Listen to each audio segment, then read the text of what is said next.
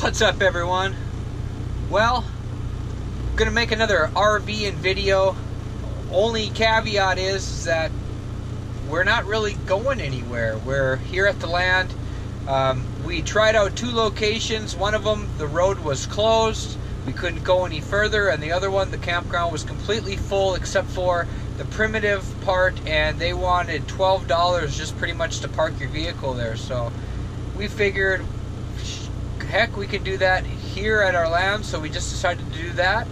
So we're going to show you, I guess, kind of what we do when we're kind of hanging around here and not going on an adventure.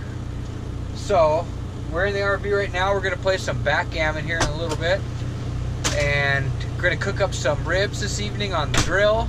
So we'll have a good dinner and just kind of see how the day progresses. I'm going to be cooking a Dutch oven meal up tomorrow night, so for those of you who like the Dutch oven videos, stay tuned for that. That'll be posted probably on uh, Tuesday. But anyways, guys, I uh, hope you enjoy the video.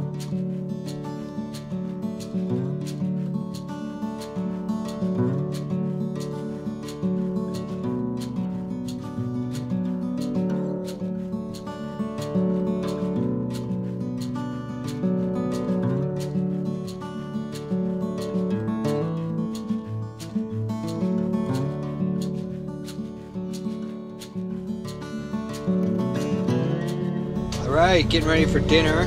Gonna throw on these baby back pork ribs in this tin foil. Throw them on the grill. Should be a good dinner. Alright, we just pulled the ribs out. Smells pretty tasty. We're having that with some noodle salad and green beans and cheese. Gonna be a pretty good dinner.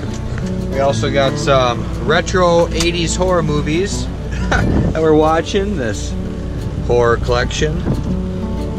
So we'll watch a couple movies in here and then we'll probably move into the van maybe, play a couple of games on the Switch and then we'll probably move into the cabin again and finish up watching some more movies. So that'll be our weekend. But it's kind of neat. We we got three main spots and we kind of move from one to the other to the other. It's like a three bedroom house.